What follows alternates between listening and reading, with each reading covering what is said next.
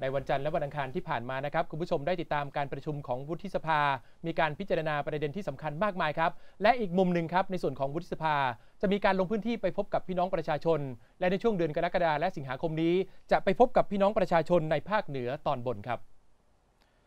พลเอกสกลสัจจานิตรองประธานคณะกรรมการสมาชิกวุฒิสภาพบประชาชน ในพื้นที่จังหวัดภาคเหนือตอนบน คนที่1นนะครับได้กล่าวถึงความคืบหน้า ของการเตรียมความพร้อมการลงพื้นที่พบประชาชน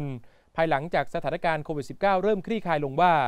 ทางคณะกรรมการได้มีการเตรียมลงพื้นที่ภาคเหนือตอนบนทั้ง 8 จังหวัดครับซึ่งประกอบด้วย จังหวัดเชียงใหม่ แม่ฮ่องสอน ลำพูน ลำปาง เชียงราย พะเยา แพร่ และจังหวัดน่าน ซึ่งที่ผ่านมาได้ชะลอการลงพื้นที่ออกไป เนื่องจากการแพร่ระบาดของโควิด -19 แต่ละคณะของกรรมธิการนะครับก็ได้มีการติดตามสถานการณ์ต่าง ๆ อย่างใกล้ชิด ทั้งนี้จากการตรวจสอบข้อมูลเบื้องต้นพบว่าในภาคเหนือตอนบนจะประสบปัญหากับหมอกควัน ฝุ่นละออง PM 2.5 ปัญหาภัยแล้ง ปัญหาที่ดินทำกิน และการค้าชายแดน ดังนั้นทางคณะกรรมการจะมีการลงพื้นที่ติดตามการดำเนินงาน ในระหว่างเดือนกรกฎาคมไปจนถึงสิงหาคมนี้ โดยตั้งคณะทำงานประกอบไปด้วย คณะทำงานติดตามการปฏิรูปประเทศ เรื่องของฝุ่นละออง PM 2.5 และไฟป่า คณะทำงานติดตามการปฏิรูปประเทศ เรื่องการบริหารจัดการทรัพยากรทางน้ำของภาคเหนือตอนบน คณะทำงานติดตามการปฏิรูปประเทศ เรื่องสังคมวัฒนธรรมและประเพณี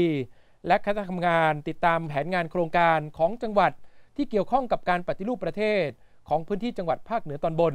เพื่อเป็นการรวบรวมข้อมูลประกอบการปฏิบัติการต่างๆ ของการปฏิรูปประเทศและยุทธศาสตร์ชาติ ภายใต้กรอบและหน้าที่ของสภาต่อไปครับ หน้าที่ของสวหลายท่านคงรับทราบอยู่แล้วว่า เราดำเนินการตามบทบัญญัติว่าต้องเกี่ยวกับการกันกรองกฎหมายอะไรต่างๆ มากมายเยอะแยะมากมายนะครับ และที่ลังเป็นที่แปลกๆมาก ๆ คือ การติดตามการปฏิรูปเรียกว่าต่อสอรอการต่อสอรอคือต่อติดตาม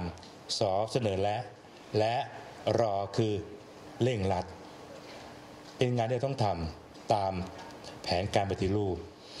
ถามว่าถ้าเราอยู่ในที่ตั้งรัฐสภาแห่งนี้ โดยไม่ได้ฟังชาวบ้านที่อยู่รากหญ้า เราจะได้ข้อมูลที่แท้จริงหรือไม่